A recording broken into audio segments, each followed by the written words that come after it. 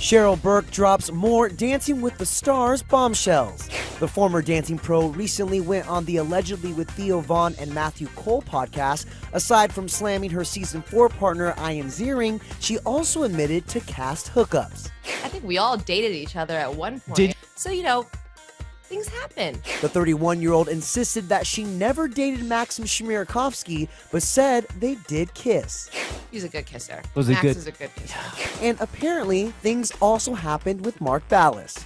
I think we tried to have fun. Oh, what went wrong? Yeah. You know, stuff happens. Just wasn't working. People interrupt, or you know, something happens. People interrupt. Cheryl admitted she's almost always had to Google her celebrity partners, except for her least favorite partner, Ian. She revealed she thought about injuring herself to get out of dancing with the 90210 star early. I thought about that a couple times. I've got a balcony. Really? I was like, should I jump? I don't think that has to do with the dance. No, but I wouldn't die. I wouldn't die. Oh, no, right, I wouldn't die. I'd just be like, hey guys, I'm injured this season. I won't be able to come back Right.